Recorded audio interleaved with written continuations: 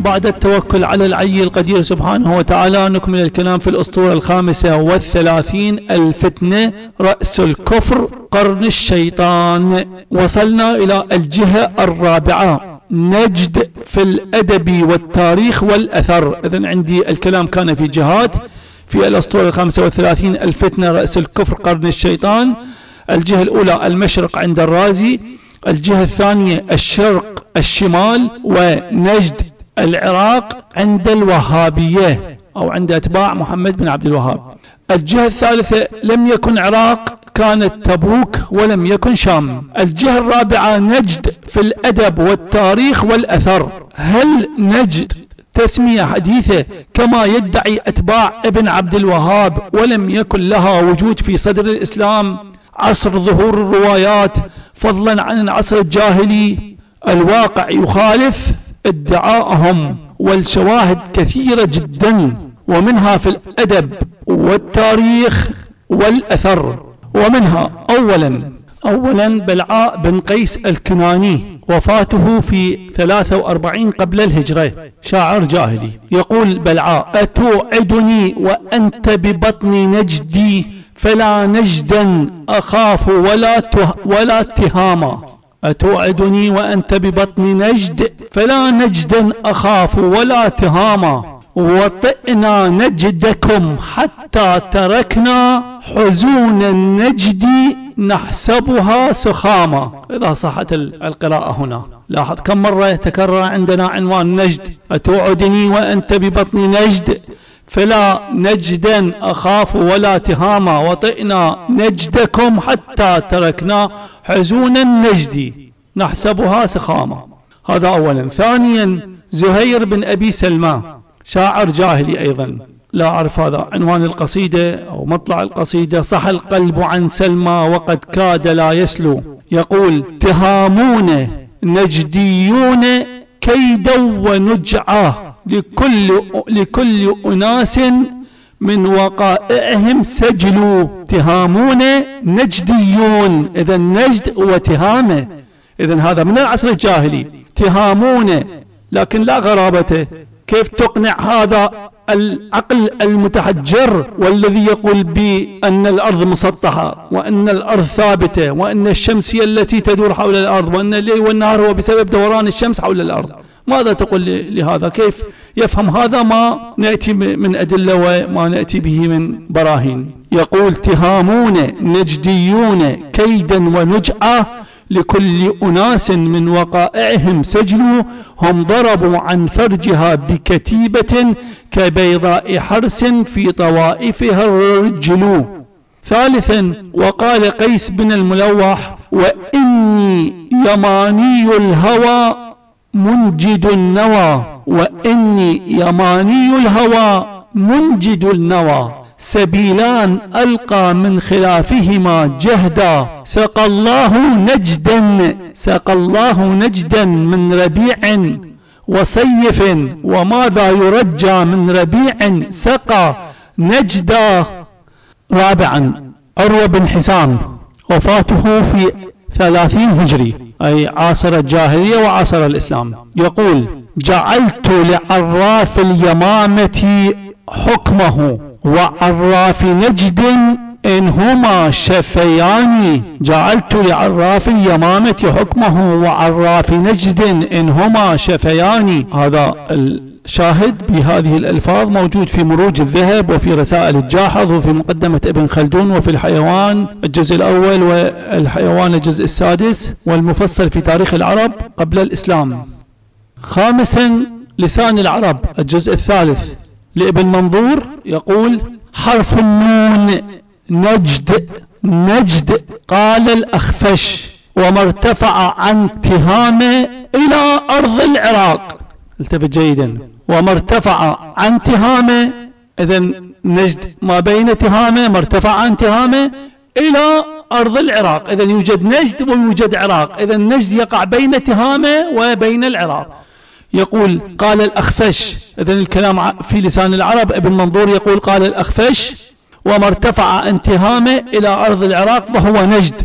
ونجد من بلاد العرب ما كان فوق العالية والعالية ما كان فوق نجد إلى أرض تهامة إلى ما وراء مكة. فما كان دون ذلك إلى أرض العراق فهو نجد. ولا زال الكلام لابن منظور في لسان العرب يقول وروى وروى عن ابن السكيت قال ما ارتفع من بطن الرمة أو الرمة والرمة وادي مع واد معلوم فهو نجد إلى ثنايا ذات عرق. قال ابن السكيت وسمعت الباهلي يقول كل ما وراء الخندق الذي خندقه كسرى على سواد العراق فهو نجد إلى أن تميل إلى الحرة أي لاحظ من العراق مما بعد الخندق من العراق باتجاه المدينة يقول إلى الحرة فإذا ملت إليها فأنت في الحجاز. إذا ما بين الحجاز والعراق ما بين الحجاز والخندق فهو كله هذا نجد.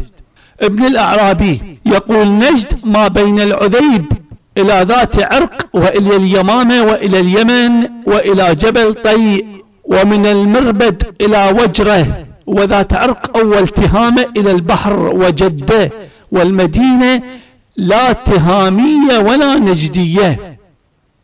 الباهلي ولا زال كلام في لسان العرب لابن منظور. يقول الباهلي كل ما وراء الخندق على سواد العراق فهو نجد والغور كل من حدر سيله مغربيا وما أسفل منها مشرقيا فهو نجد. لاحظ يعطيك حدود نجد. العراق أحد حدود نجد. يقول كل ما وراء الخندق أي ما وراء الذي ذكره قبل قليل الذي رواه عن الباهلي عن ابن السكيت عن الباهلي قال ما وراء الخندق الذي خندقه كسرى باتجاه الحجاز. إذا الباهلي يقول كل ما وراء الخندق على سواد العراق فهو نجد والغور كل من حدر سيله مغربيا وما أسل منها مشرقيا فهو نجد وتهام ما بين ذات عرق إلى مرحلتين من وراء مكة وما وراء ذلك من المغرب فهو غور وما وراء ذلك من المهب الجنوب فهو السراء إلى تخوم اليمن. وروي عن النبي صلى الله عليه وآله وسلم أنه جاءه رجل وبكفه وضح أي بكفه بهق هذا يسمى عندنا بهق أو برص هو مرض جلدي عبارة عن ظهور بقع بيض على البشرة. يقول وروي عن النبي لابن ابن منظور يقول وروي عن النبي صلى الله عليه وآله وسلم في كتابه في كتاب لسان العرب.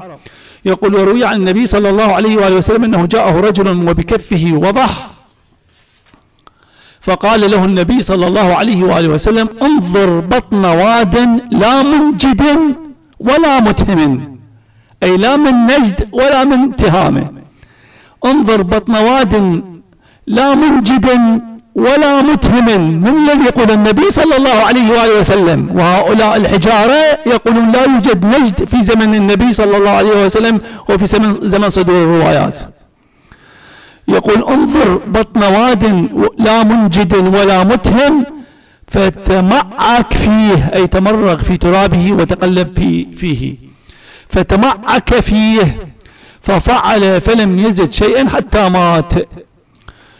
يكمل يقول قوله لا منجد ولا متهم لم يرد أنه ليس من نجد ولا من تهامة ولكنه أراد حدا بينهما فليس ذلك الموضع من نجد كله ولا من تهامة كله ولكنه تهام منجد. قال ابن الأثير أراد موضعا ذا حد من نجد وحد من تهامة فليس كله من هذه ولا من هذه. ونجد اسم خاص لما دون الحجاز مما يلي العراق. لاحظ إذا نجد بين العراق وبين الحجاز. انتهى الكلام في لسان العرب لابن منظور. سادسا في التاريخ والأثر عن الخليفة عمر رضي الله عنه. قد ثبت للعراق ما يخالف قول الألباني وباقي أتباع التيمية. عندي أليف وباء وجيم ودال إلى آخره.